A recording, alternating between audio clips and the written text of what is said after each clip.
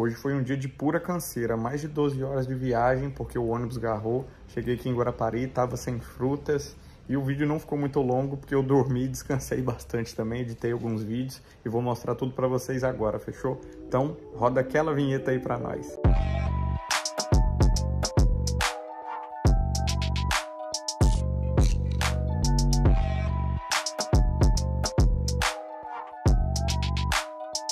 É, então o vlog de hoje começa agora, 10 e poucas, né? Que é o dia de hoje, segunda-feira. Acabei de chegar, tô com a bagzinha aqui, a mochila ali, eu vou desfazer ela, tirar os presentes que eu ganhei, o livro. É, peguei produtos também de empresas veganas que estão começando agora para participar do Mano Divulga, que se inscreveram no, no, no, projeto que eu e a Lorena montamos também. É, teve uma pessoa que me mandou um bolo lá, que vai ser uma do, do, das, das divulgações que eu vou fazer. E não vou falar o mês, a data, porque tem uma ordem né, de, das pessoas. E também tem uma outra empresa aí que mexe com óleo essencial. E, mano, enfim, vocês vão ficar sabendo, eu vou lançar na, na época certa.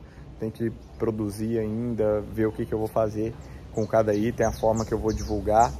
Mas é isso aí, vou descarregar ali a mala, descarregar, desfazer a mala, é, organizar a roupa, tomar um banho, é, descansar não vou precisar, porque felizmente consegui dormir dentro do ônibus, porque estava cansado desses três dias em BH. E vou seguir aqui. Aí bebi só água, tô de jejum ainda e quando for meio-dia eu almoço. Fechou? É nóis, família. Salve família, eu tô aqui no quarto onde eu gravo os vídeos pro YouTube, onde eu faço a live, onde eu faço o almoço fazendo a live no TikTok.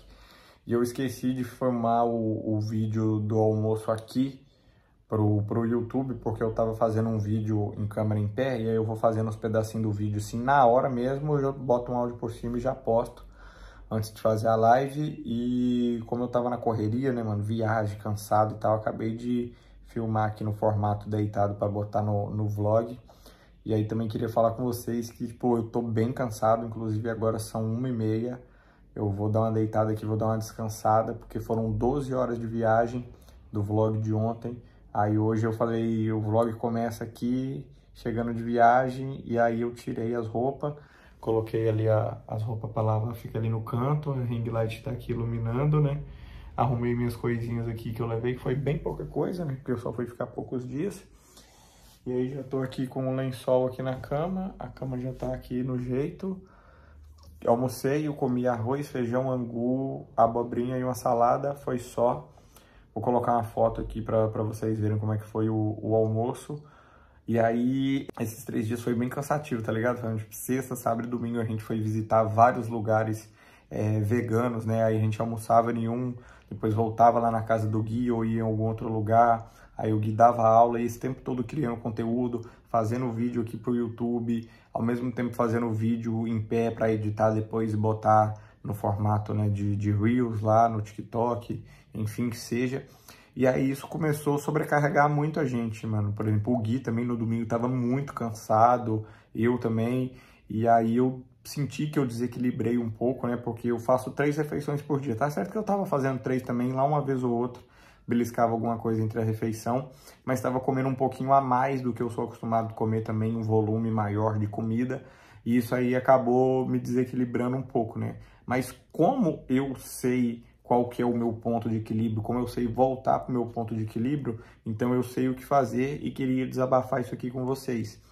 Que quando a gente faz, no caso, quando eu faço essa questão igual comi bastante, hoje, por exemplo, eu estou fazendo um jejum? Não, não estou fazendo um jejum. Ah, comi demais ontem, hoje eu vou comer de menos. Não, eu fiz um jejum de manhã, estava dentro do ônibus também, não estava afim de comer, beleza, o corpo não estava pedindo comida, acho bom demais, que aí eu já queria fazer jejum, então o corpo ajudou nisso aí. Só bebi água que tinha no ônibus, cheguei em casa, bebi água também, e agora almocei, e aí vou ficar até de noite sem comer, e quando for lá para 6 horas de noite eu vou ou só beber um suco, ou comer alguma coisa bem levinha mesmo, pra né, mano, pra dormir bem e tal. E amanhã, aí vou ficar mais uns dias aí comendo um pouquinho, talvez fazendo um jejum de manhã. E aí, conforme for passando os dias, vou equilibrando direito. Por que eu tô falando que eu desequilibrei também? Porque tinha vez que a gente chegava em casa, tipo, na casa do Gui, 10 e meia, 11 horas, e eu gosto de dormir antes das 10. Mas tudo certo também, tá ligado? Não me culpo por isso. Não tô falando que foi ruim, pelo contrário, foi bom, pelo, pelo, é, pelo contrário, como eu disse, que de não me culpar, faria de novo sim, mas não agora, né? Tem que dar um tempo, descansar.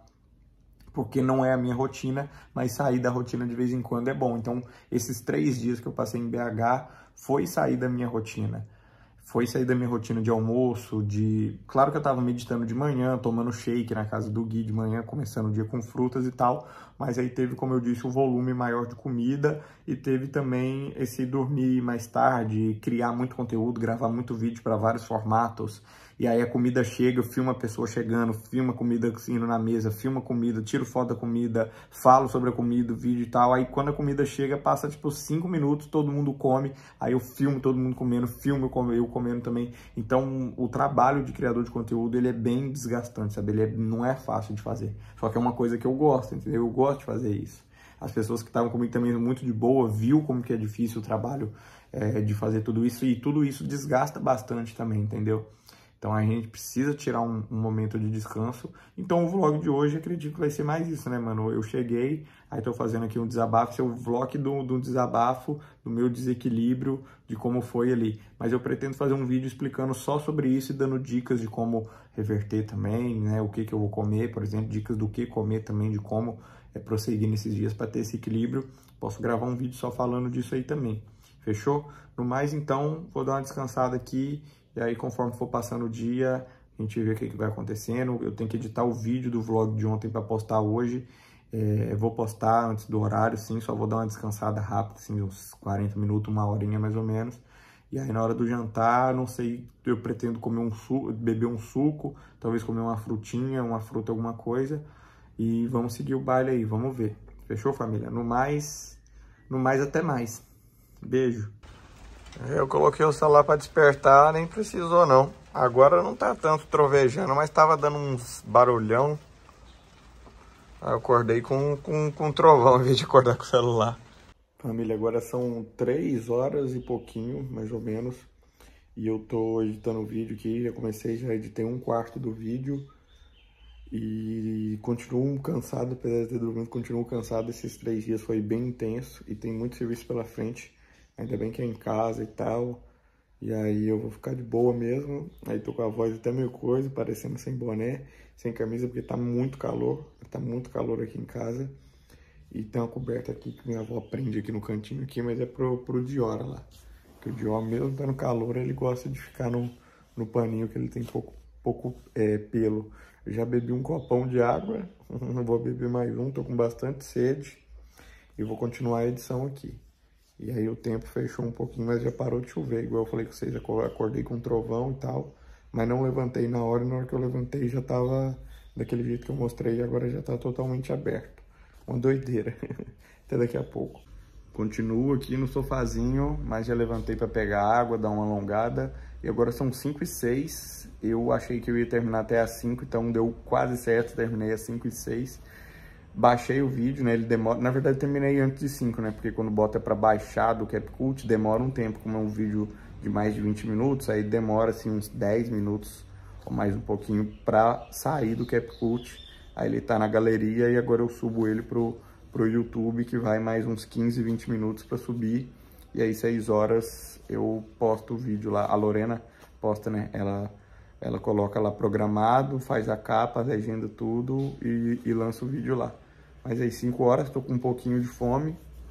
Aí não sei o que eu vou comer ainda, mas vou terminar de fazer umas paradas aqui e daqui a pouco eu como. Salve família, então tô aqui no quarto, acabei de editar o vídeo, o vídeo tá postado, postei também lá nas redes sociais pra galera ver, saber que saiu o vídeo. E agora são 6 horas e me deu fome, então eu vou fazer alguma coisa pra comer, vou ver o que, que tem ali, vou ver o que, que eu vou comer também e já mostro pra vocês, fechou? Família, eu achei dentro da minha mochila esse pacotinho aqui, ó. Castanha de, de baru sem pele, torrada. Já tá até sem pele, bom demais. Eu amo essa castanha aqui, velho. Eu fui no Rio de Janeiro quando eu tava num restaurante com a Lorena, o Léo do Rolê de Vegano e o Alan, namorado do Léo. A mina reconheceu a gente e falou, ah, queria deixar com vocês uma amostra aqui desse Barucas. O arroba deles é Somos Barucas, Barucas com K. E aí eu vou, vou comer isso aqui de janta. Talvez um pouquinho de arroz e feijão junto. Mas vou abrir aqui. Ah, show demais. Nem lembrava que tava na mochila. Aí, família, ó. Então segue aí. É, sem a casquinha, né, ó. Quem conhece essa castanha sabe que é difícil tirar a casquinha dela. E aqui já vem tudo sem, com um salzinho marinho. Achei muito boa. Aprovadíssima. E ó, castanha de baru sem pele. Muito boa. Barucas. Aí tô comendo elas aqui. Não sei se vou comer mais nada não, não tô muito afim não. Acho que vou só beliscar essas castanhas mesmo.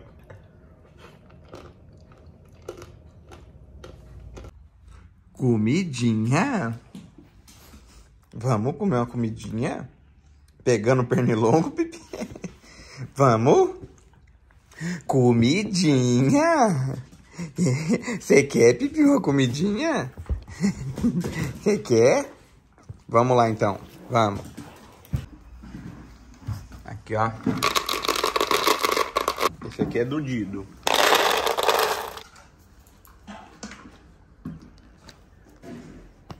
Vem.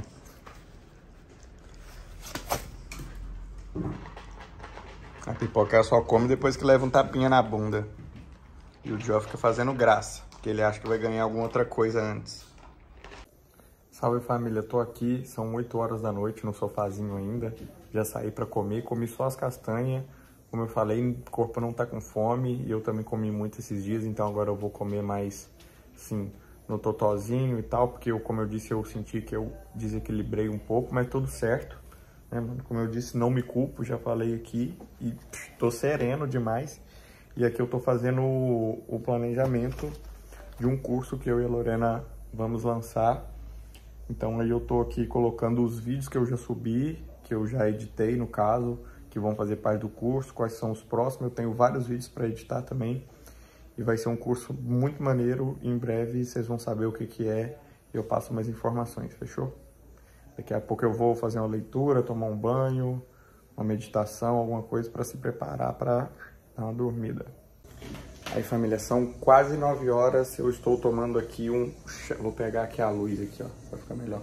Um chá de carapiá do cerrado e esse chá ele é feito com essa raiz aqui ó.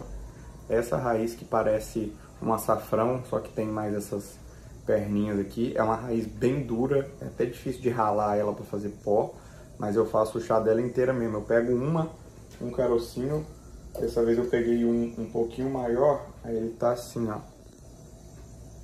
Tá vendo? Esse aqui eu vou utilizar ele de novo para fazer amanhã de novo o, o, chá de carapiá. Esse chá aí, ele faz a gente ter sonhos lúcidos. Você, quando você vai dormir, você parece que está acordado ou acordada no sonho. Não tem nada de psicodélico, droga não. É simplesmente te ajuda a lembrar do seu sono, tá ligado? A ter um sono de qualidade. Não tô dizendo que ajuda a dormir, isso aí eu não sei não. Mas eu depois que tomei na Bahia, quando eu vou dormir assim, eu tenho sono, sabe? Mais tranquilo ali, passa aí o que, que tá acontecendo no meu sono. Então é bem legal, acordo bem também. Acho muito da hora esse chazinho de carapiá, hein? Muito massa. Quem quiser procurar, quiser achar, e é muito difícil de achar na real, né? Eu achei em BH e achei quando eu tava na Bahia. No Rio de Janeiro não achei, aqui no Espírito Santo também não achei. Então, inclusive comenta aí se você já viu, você conhece, você vai procurar e é nós que voa. Família, boa noite. Agora são quase 10 horas da manhã. Eu tava conversando com a Lorena, a gente tava trocando ideias sobre um assunto muito particular que não convém contar aqui, mas a gente ficou quase uma hora ali conversando. A pipoca deitou aqui, ó. Até, oh, tadinha, até coloquei o joelho né? E desculpa, Pipia, tá aqui de boa, no lençolzinho que tá fresquinho, tá mó calor. Aí tem um ventilador batendo um ventinho pra cá também, ela tá gostando. E foi isso de jantar, família, compartilhando com vocês aí. Começou umas castanhazinhas. É, me deu, tipo assim, um, uma sensação de estômago vazio, não uma fome. Eu adoro dormir desse jeito, porque eu sei que eu durmo bem, acordo bem. Então tá, tá massa demais. Primeiro dia depois de voltar de BH aí descansando, né, mano? Só almocei, comi umas castanhazinhas, bebi bastante água, tomei o chá de carapiá para dormir bem. E agora liguei pra Lorena, aí a pipoca já se esticando aqui, ó. É a pipizinha do papai. Adoro uma cosquinha na barriga. e é isso aí, família. Aí eu tô aqui no jeito, agora eu vou tomar um banho, que eu gosto de tomar banho perto da hora de dormir e vou meditar um pouco e é isso. Vai ser isso aí o, o vlog de hoje, bem simplesinho, é um dia de boa assim, né, mano, só não é tão de boa quanto o do Ekadashi, o dia do Ekadashi é mais de boa ainda. E é isso, tava precisando, pernilongo aí, ó, pernilongo, não vem me picar de noite não. Tava precisando do descanso depois de três dias, correria, trampando muito, damos graças, conhecendo vários lugares, várias pessoas novas, damos graças também, várias comidas, texturas novas também, damos graças, mas a vida é feita disso, falei e vou falar de novo, buscar sempre o equilíbrio. Fechou, família? É nós. Então, no mais, um forte abraço. Não esquece de curtir aí o vídeo, comentar, compartilha aí com a galera que eu tô fazendo vlog todo dia, compartilha o, o vídeo do vlog também com alguém que você conhece, que você acha que vai ser importante ver esse vídeo, que você acha que vai gostar do conteúdo aqui do Mano também, de rotina, de saudável, autoconhecimento, estilo de vida e muito mais. E é nós que voa. Fechou, família? Salve, salve e um fortíssimo abraço. Beijo.